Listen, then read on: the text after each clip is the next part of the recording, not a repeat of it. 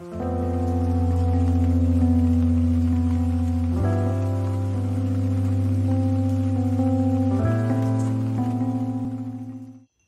want to use this opportunity to wish everybody who's watching a happy, happy new year. Whether you're watching it at the start of the year or in the middle of the year or in the end of the year, I hope that this year brings you a lot of peace, love, and light. And I wanted to start the year off right by cleaning up a lot of spaces and going through and folding things that are not folded. I just wanted to make sure that we started the year off clean. Back in Jamaica, my mom used to say, if you start the year with money, that's how the rest of the year is going to go.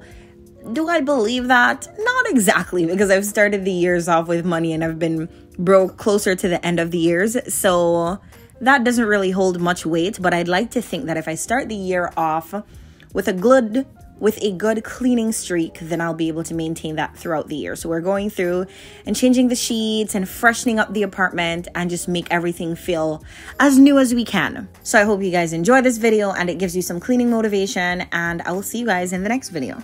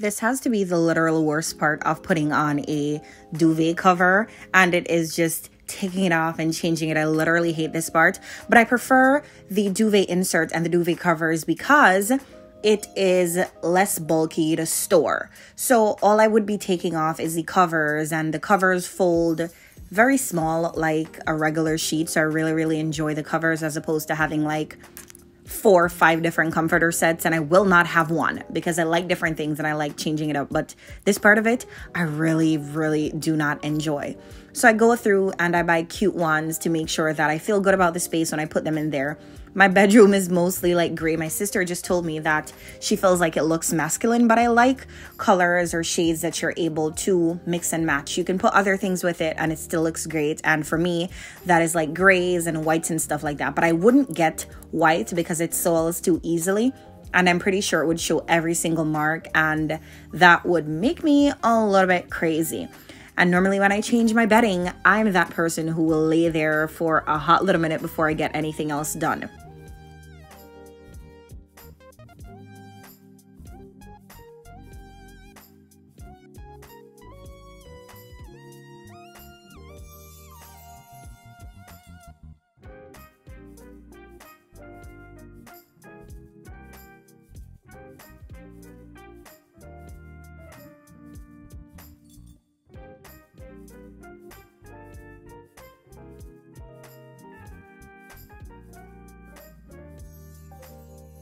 I wanted to then go through and vacuum the bathroom and like clean it up and change the rugs that I had inside there. But I buy rugs that go with one of my favorite shower curtains. So I could keep that shower curtain up for an extended period and just go through and change the rugs out here and there. So that's what you will see me doing. And I'm using my vacuum to vacuum up the floor. There's always a lot of hair in the bathroom. So have to get rid of that. And then I have the kitchen area where I'm going through and like cleaning that up, just putting away the dishes, putting a new wallflower in, wiping down the counters, little things like that, just to make it feel more clean and more airy. I don't like to see when the drainer is full of pots and pans, but I also like having somewhere for them to dry. So as soon as it gets full, I will like pull it down and fix that up.